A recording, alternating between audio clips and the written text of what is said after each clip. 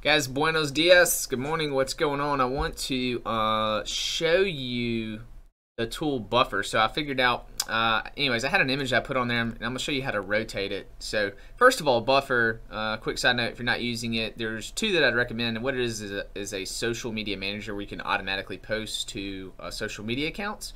Um, buffer and Hootsuite are both good ones. Currently, I'm using Buffer. Uh, as of, so it's May 16th, 2018. And as of right now, just recently, um, you, you're now able to automatically post to Instagram as well for single photos, which is pretty amazing. So here's what I'm going to show you. I had an image that I posted, so I'm going to show you. Let's set up another one. Um, I'm going to show you what it does and what I'm talking about. So let's say I want to find this image real quick, no problem probably in here. Yep. Okay, so I have this vertical, actually let's use this one, this vertical shot here, okay? As you can see, this vertical shot. When I load it, buffer flips it horizontally, I think is what's gonna happen. We'll see in a minute. So look at there, it flipped it, it flipped it to the left. Okay, so obviously you don't want to post an image like that, right, on on uh, on Instagram. So what do you need to do? Well, you need to rotate the, well, actually there's two things. There's two things that you can do.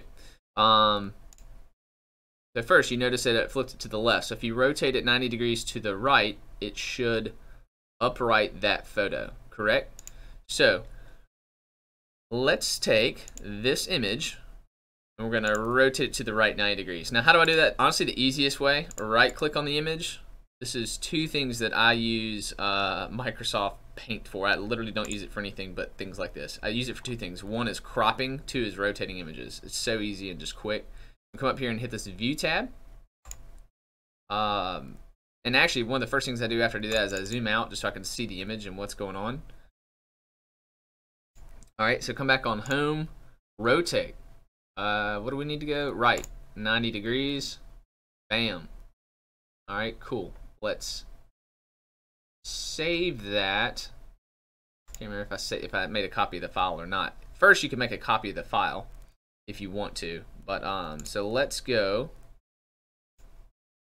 Let's see if that's now in there. Yeah, here it is. So let's see what happened with this one now.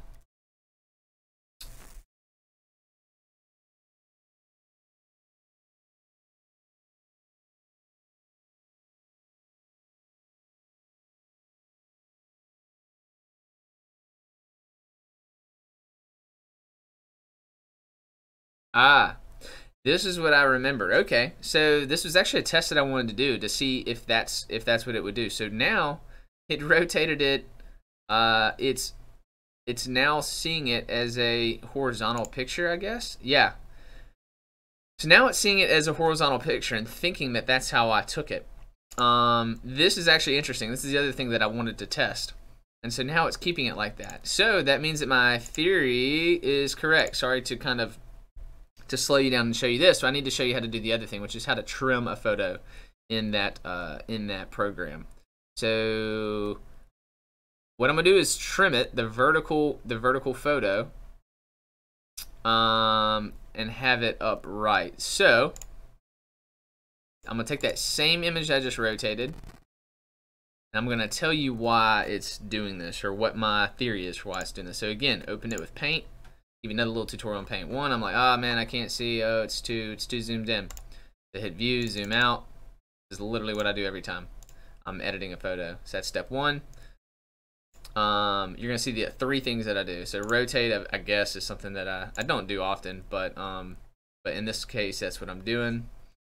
Um, the other thing that I use uh, Paint for is to crop, right? And that's what I'm about to do. So right now I have a vertical picture if I crop this photo and make it look horizontal, this is the test that I did previously. Um, just as an example, let's say this is what I want to capture my picture. Uh, drag and drop that, let it go. Hit the crop button. All right, so now I want to save this. So I can hit Control S or the save button up here.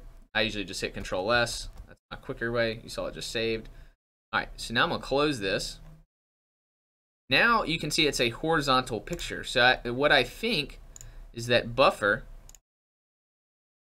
sees that horizontal picture. This is the one that I did the other day, but this is the one that I just did.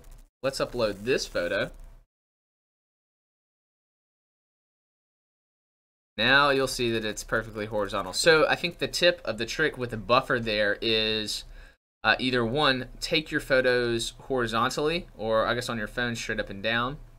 Um, don't turn your don't turn your camera. It may be different for different cameras. At least that's mine. I just if I hold it normally like I'm talking on the phone snap a photo, that'll be a horizontal photo.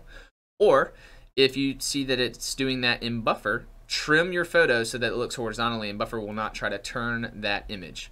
So that's your uh, your tip for today uh, in how to rotate images in buffer.